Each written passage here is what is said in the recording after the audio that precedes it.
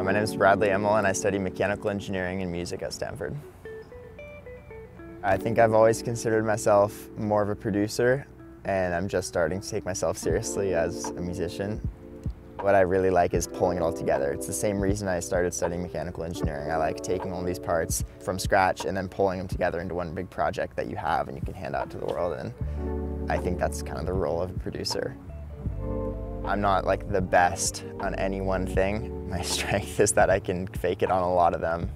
So I've grown up playing piano, and guitar, saxophone, French horn.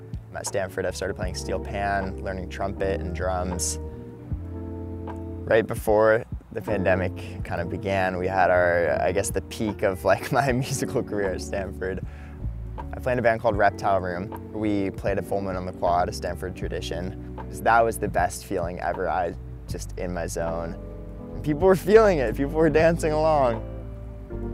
I think what I miss most about performing live is the ability to create an emotion in the room. It's a pretty special feeling, and I think that's what I always strive for.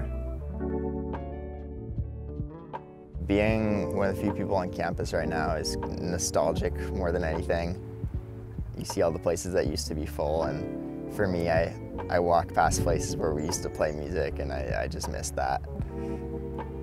But the pandemic really forced me to kind of explore my own voice and myself as an artist because I didn't have other people to lean on as singers or as performers.